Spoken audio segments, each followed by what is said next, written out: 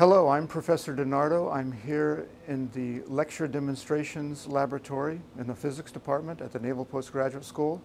And I'd like to show you a demonstration that we do in our nonlinear oscillations and waves course.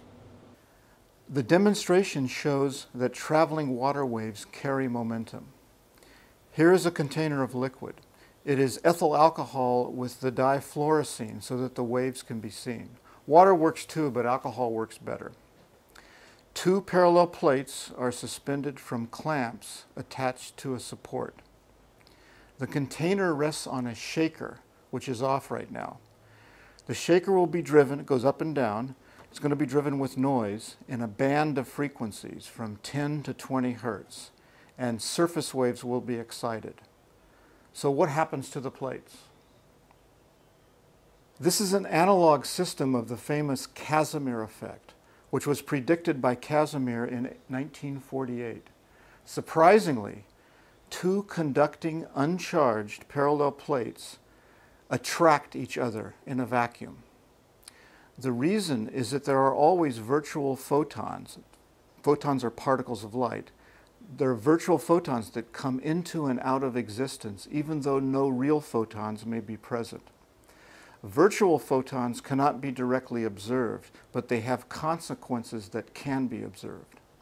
Because photons carry momentum and because there are fewer photons between the plates, there's an imbalance of light pressure which produces a, an attractive force on the plates. This force is extremely small and was not accurately confirmed until a half a century after its prediction. We can greatly enhance the effect by using real surface waves on a liquid. The idea is the same. There will be less wave motion between the plates, so there will be a net inward force on the plates due to the waves reflecting off the outside of the plates. I'm now slowly increasing the drive amplitude. Eventually we will see the surface waves. Nothing appears to be happening to the plates.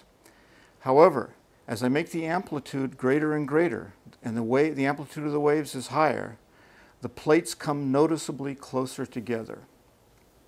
This is tricky here because we are pushing the shaker and the amplifier nearly to their limit, where they will automatically shut off. I'm now turning off the drive. Note that the plates are slowly moving farther apart to their original locations. A student and a colleague and I have published this effect. A PDF is available on the NPS lecture demonstrations website.